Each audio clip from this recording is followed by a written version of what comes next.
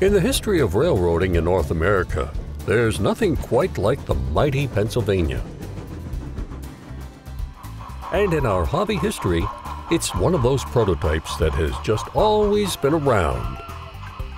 Even way back in the day when prototype modeling started and ended with a paint scheme on a piece of rolling stock, hobbyists could find ready-to-run examples of many of the PRR's unique steam locomotives and cabin cars but it was the well-documented prototype that encouraged modeler Curt LaRue to recreate a portion of the Pennsy in HO scale.